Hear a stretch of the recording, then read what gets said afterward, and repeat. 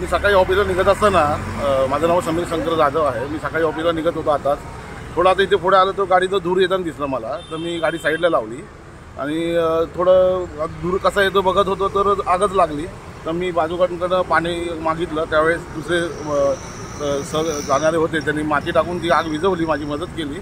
आणि माझी गाडी जुनी पंधरा वर्ष जुनी आहे. तर अचानक असं कसं झालं मला माहीत नाही. बघा तिथं म्हणजे देव चांगलं आहे की बुवा मी वाचलो माझी गाडी पूर्ण जणांची वाचली. काही कल्पना नाही खालून अचानक धुरू यायला लागला पहिले फेरिंग बंद धूर यायला लागला नंतर इंजिन बंद धुरू यायला लागला आणि मग आग लागली. मला अचानक काही कळलं नाही पण मी पेट्रोल कॉक लगेच बंद केला आणि स्विच ऑफ करून गाडी बाजूला झालो